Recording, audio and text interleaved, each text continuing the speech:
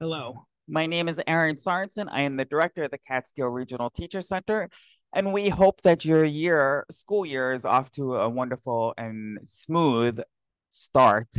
We have some great programming here at the Catskill Regional Teacher Center.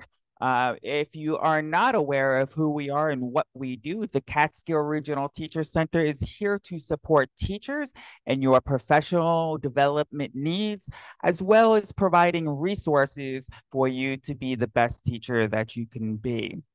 All teachers in the DCMO ONC geographic area, including private school teachers, are automatically members of the Catskill Regional Teacher Center. We are offering many, many wonderful programs and need your support to participate in these programs in order to make sure they continue to happen.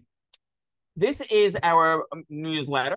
Uh, we have included September as well as October in this initial newsletter, as we have many programs leading into October that you needed to know about uh, early on so you can sign up. We have ongoing networks. Uh, we have several networks to get together and meet. Um, we know that many schools are single entities. In other words, there is only one or two social studies teachers or art teachers or um, other subject areas. And it would be good for teachers to network outside of their school districts to get ideas, share resources, and uh, understand what's happening elsewhere. To support this, we have a social studies network. This network is led by SUNY Oneonta's Dr. Nicole Wade. She is the social studies methods teacher at SUNY Oneonta and does a wonderful job of connecting social studies teachers. Our science network is led by Cherry Valley's Tom Fralick. Tom does a wonderful job of connecting science teachers to talk about the shifts in the standard, three-dimensional learning, inquiry-based uh, assessments, lots of, lots of, different things like that. Um, so we hope that you will attend that network.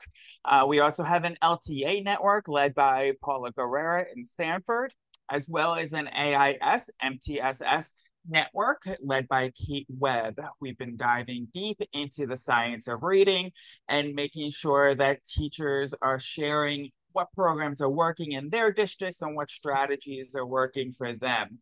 We also have a PE network, uh, and this is run by Courtney Cunningham. This one will be held at Ostrucks in Sidney. We do believe that professional development does not have to be stiff and in a classroom. It can be social. The idea of networking is to connect with others. The previously uh, mentioned networks, the Science Network, the Social Studies Network, the LTA Network, and the AIS MTSS Network, are meeting online later at night with the hope that uh, by the time you get your kids to bed or um, have the routines of the day squared away, you might want to join our networks.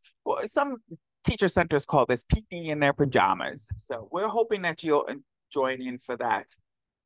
We also have a new teacher or young professionals network. This is led by Catherine Weigel of Milford. Uh, that will be held here at SUNY Oneonta at the Catskill Regional Teacher Center at Bugbee Hall.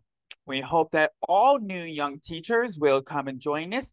Many professions have young professional networks. We hope to replicate that within this uh, arena we believe heavily in teacher leadership. And so we are very supportive of national board certification.